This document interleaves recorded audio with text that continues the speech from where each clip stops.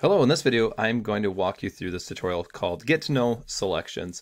This is in the Adobe Learn tab right here and so it's nice because we can both work off the same images. So this will come up and you're going to hit start tutorial and it's going to bring all these images up. Now they do have these blue uh, boxes that come up telling you what to do. I'm going to walk you through it because it doesn't always show the exact right thing. It might point at the wrong thing and whatnot. But I'm going to show you the same things it was going to show you. So first thing I'm going to do is I'm going to grab the rectangle tool here and I'm going to click outside of it. Once I'm, oh, by the way, you also have to be on the fruit layer. Click outside of it and then drag in and you can see the selection then will start inside the image and go right to the edge. There we go. Now, once you have this, um, you can then apply a, an adjustment to it.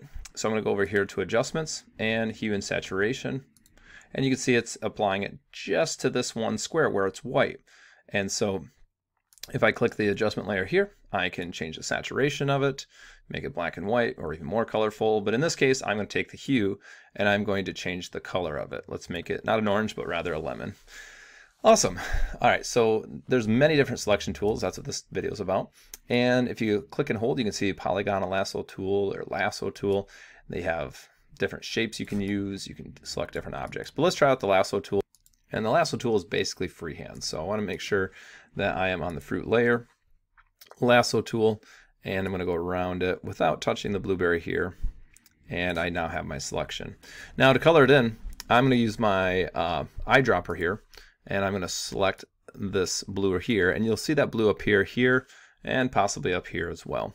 Now I'm going to go up to Edit, and do fill as long as I'm on the right layer. I'm on the fruit layer. I do fill and it's gonna uh, maybe be on content aware. We're gonna make sure it's on foreground color and that's that color that we selected and hit okay, okay and it'll fill it in. Now let's go to more the, the fun ones here. There's object selection, quick select, and whatever else. So let's try object selection. And for this one, I'm to select the bowl now. Oh, by the way, there are these dancing ants still going around. To deselect, you can go up to select, deselect, or like the shortcut shows, you can just hit Control D as well. All right, back to the bowl. Um, I'm going to click and drag, and I want to select the fruit. And not so much the bowl, not so much the background, but the fruit, and let it think for a second. And you're going to see these colors pop up, but you can see the dancing ants are going around this. Now, if that's all the fruit I wanted, that'd be fine, but I want the other fruit as well. So I'm going to hold down Shift, and this is going, and then I can click and drag here, and it's also going to add this fruit. Now I see the ants going around there. You can ignore this pink stuff, by the way. That's just basically if you want to grab a subgroup of this selection. And I'm going to hold on shift again, and I'm going to select the fruit over here as well. So I actually selected three times, and you can see now that the dancing ants are going around the fruit in the bowl and the fruit not in the bowl. Uh, once I do that and I'm on a bowl layer here, I'm going to go up to adjustments and I'm going to go to brightness and contrast. And it's only going to apply that brightness and contrast because of this layer here, this uh, mask, it's only going to apply it to the fruit there. So when I change the brightness, it doesn't affect the bowl, it only affects the fruit. So I'm just going to go like, uh, I don't know, plus 20 or 30, something like that. Make it stand out a little more. Perfect. All right, that looks pretty good. Uh, now let's go to the boy layer here, and we're going to do something really different. Instead of even using the selection tool, uh, we're going to go up to, well, let me show you two ways. If I click and drag, there's a magic wand tool I can use. And for that, if I'm on that boy layer, I can select and it'll grab all of the orange.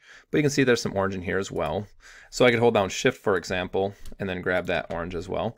But you can see it's kind of getting on the orange here and stuff, so it's not perfectly clean, but that'd be one way to take care of it. I'm gonna hit uh, Control D though and deselect that. Instead, I'm going to go up to the layer here and do select and you can choose subject. Now, the reason it's able to grab this boy is because on this layer, that's where the boy is and it's not looking at anything else. That did a really good job, did even a better job with the uh, edge of that orange there too. All right. Now with that boy there, we can go to adjustments and we could go to, for example, color balance and maybe we don't like the color that he looks, maybe it's not quite natural. So I can go a little more blue or a little more orange or yellow, I mean. And I think we can probably adjust that 25. That's more of a regular skin tone there.